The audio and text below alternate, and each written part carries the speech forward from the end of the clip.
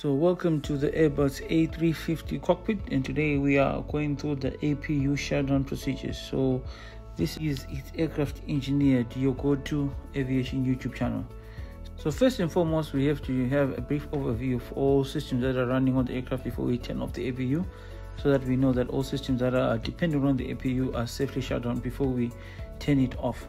So as you can see the, the briefings are still running. Let's turn those off yes briefings are off. So now we've got electrical external power and apu still on. But anyway we just go through our uh, ecam pages and we see which ones um, of any interest. So now we, we go through our engine page. Engine page engines are off. Okay everything's okay in this page. We go to our door page. Okay doors are open. This is our wheel page. Uh, nothing special here. So yeah basically everything's okay on this page. And uh, let's go to our next page. Fuel page. Fuel pumps are off. Everything's okay yeah engines are not running of course. And then we go to our next page elect page. We've got our external power 2 that is connected and our external power 1 that is on standby because apu gen is online. So once we turn off the apu gen our external power 1 will be connected. So this is our batteries and uh, this is our hydraulics. Hydraulic pumps are off make sure yeah they must be off as well. This is our flight control page and we go to our apu display page. So now let's jump back to our apu bleed. We need to turn off our apu bleed and shut down our packs. And before we turn off the apu so we come up in the overhead panels apu bleed switch. Check everything else okay? Our apu bleed is off. You need to see our apu bleed valve close. Yes apu bleed valve is closed and uh, flow control valve for the packs are off. So with the air conditioning packs off let's go to our next uh, page. We just go to the conditioning page air conditioning page. Everything looks okay. Our temperatures are okay. And then we go to our pressurization page. If we're going to connect uh, external air conditioning make sure the outflow valves are open. Um, yeah. Just that to avoid any accidental uh, accidental uh, pressurization. So we go to our apu page. And since everything looks good let's go to our apu master switch and we turn it off which will uh, turn off our APU.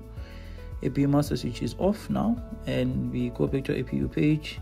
First of all, you look at the APU generator, it will go offline. Yes, APU electrical generators are offline now, so the APU shutdown procedure has begun. And and if you notice, the APU RPM will drop down to approximately 80%, and it will hold at that RPM this is what we call the APU cooling down period. This is basically for thermodynamic stability to stabilize uh, temperatures within uh, inside the internal temperatures of the APU.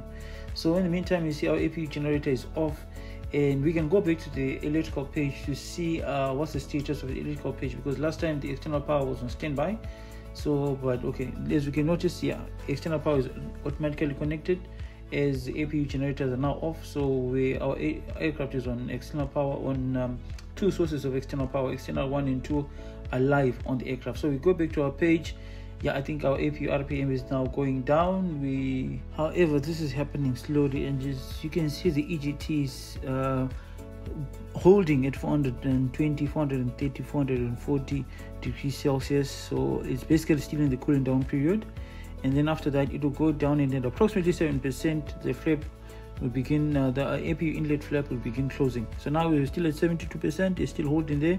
As you can see it's holding the temperature the EGT temperature is 440 still holding there. Okay now we are now yeah now the APU is going through the shutdown period. Now EGT and everything else is going down.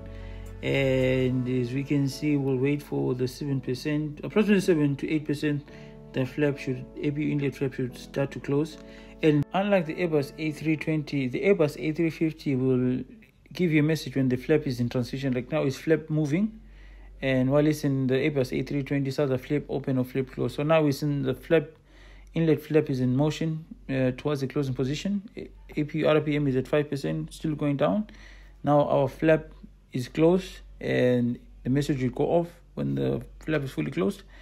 And our N RPM is now at 0%. Yes, our APU is now officially off. Earlier on, I made a text note that uh, once you turn the APU master switch off, you need to set a timer.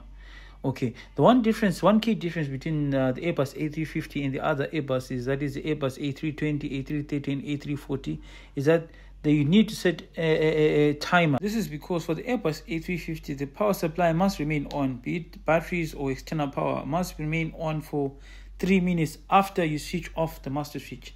This is to ensure that the fire protection systems are still on in case of any tail cone fire, uh, just to, to minimize risk of tail, tail cone fire, Airbus recommends you should wait a minimum of three minutes before switching off any any aircraft batteries or removing external power after you turn on the APU master switch.